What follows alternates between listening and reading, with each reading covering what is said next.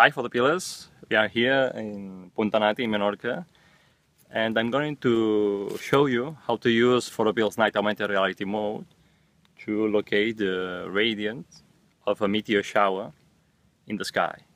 Okay, you know that uh, the radiant of a meteor shower is the spot in the sky from where all the meteors seems to converge, is the origin of, a, of the meteor shower.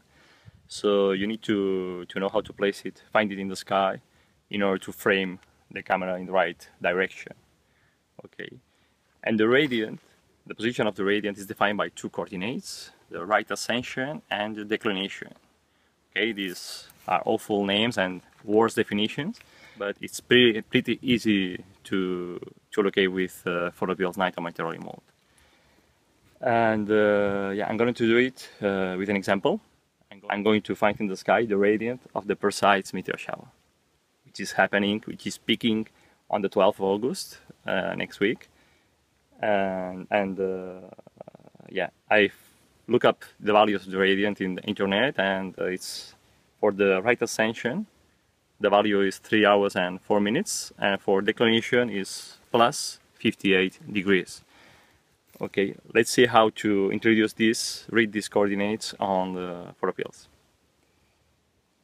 Okay, then uh, let's use uh, night augmented reality tool to, to place the radiant in the sky. Okay, gonna use the planner. Yeah, the planner, you see the, the red pin, the observer's pin is placed under the shooting spot. The date has been set to August 12th and uh, the time at midnight. Tap on the night AR button.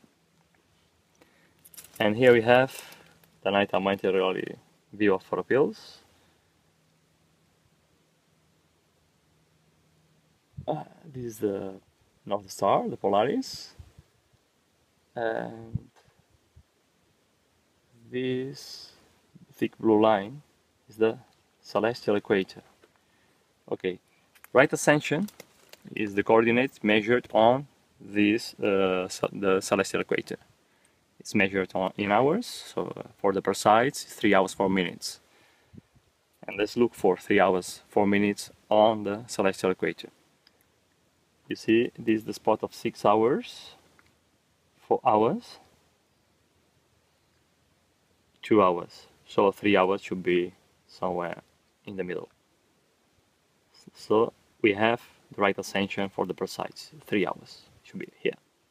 The second coordinate is declination, which for the Perseids is uh, plus 58 degrees and is measured vertically.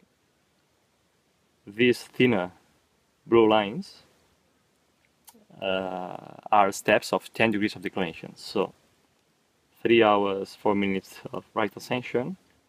Let's measure declination. 10, 20, 30, 40, 50, 60. 60 degrees of declination. So the radiant for the Perseids is here.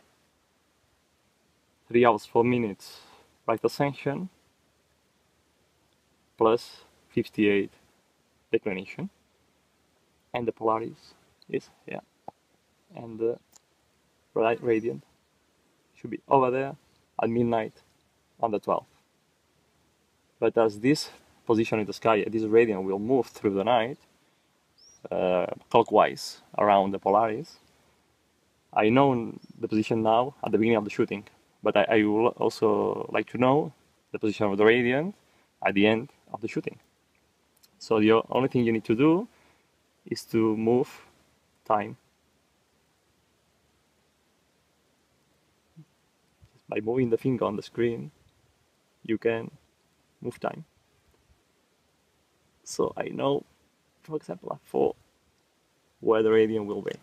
Just that. So, you see, it's pretty easy.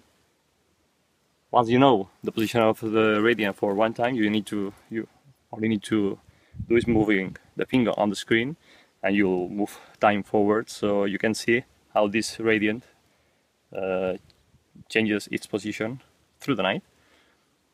This where you will know exactly where to frame in the sky for capturing the, as many meteors as possible.